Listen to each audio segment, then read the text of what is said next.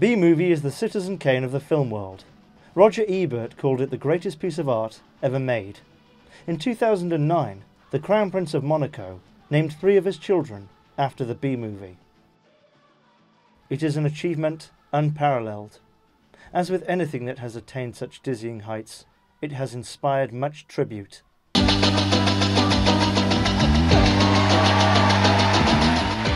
The Bee movie is one of the most important memes in the world. You see, the Bee movie was oft overlooked by the ignorant and unsaved, but then the internet began to spread the bee message, and Bee movie awareness has rapidly grown. The internet has repeatedly crowned Jeremy Seinfeld as the king of comedy. The internet is right. Lurking in a little known sitcom for a decade, Seinfeld finally emerged from the shadows to write and voice this important social treatise. Jeffrey B. Seinfeld is a young bee whose voice is entirely appropriate for his massive head and his massive, massive eyes. It's Seinfeld, so it's hilarious.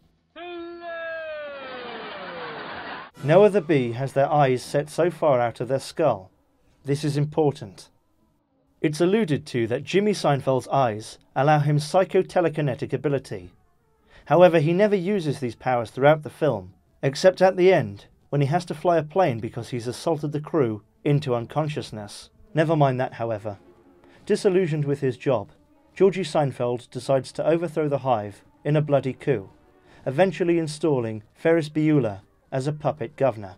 This allows Seinfeld to go on a jaunt to New York City, where he discovers that the humans are taking away bee honey for their own dastardly ends.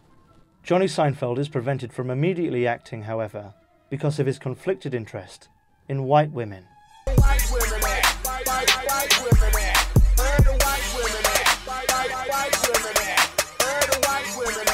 Seinfeld and Chris Rock take a tour of Honey Farms, where Chris Rock would have said, Is a bee black with yellow stripes, or yellow with black stripes, if Seinfeld hadn't expertly cut out Chris Rock's lines.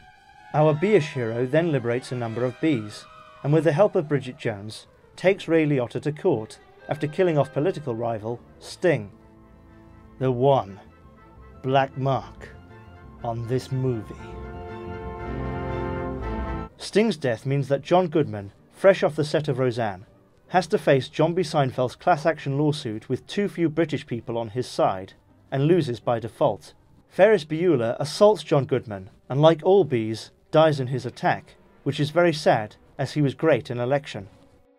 Now, I hope what I've described so far provides some of the reasons why the Bee movie has become a phenomenon meme. A bee sues Ray Liotta. Not Ray Liotta playing someone else. Ray Liotta from the PlayStation 2. In fact, listen to his lines. It sounds like they've been lifted straight from GTA Vice City. Sir. You're one dead prick! Asshole prick! But the best bit is clearly Jimbo Seinfeld seducing Bridget Jones. She literally leaves her boyfriend for a bee. It's genius. So a plan to transplant Bridget Jones's head onto a headless bee is foiled by physics. After winning his court case allowing bees to stop pollination and doom mankind, Seinfeld grows to the shoulder height of Bridget Jones and offers a moment of compassion for the last human on the planet. How about a suicide pact? And thus ends one of the greatest tragedies ever written, since Shakespeare penned the first draft to Titanic. Will there be a Bee movie 2? Certainly not, as all life on the planet was extinguished at the end of Bee movie 1. What a redundant question to ask. You should be ashamed of yourself. Idiot.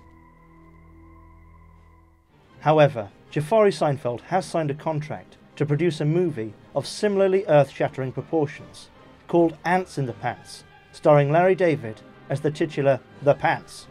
Well, now to leave you with one of the many reasons why Bee Movie is brilliant the cast list on the credits.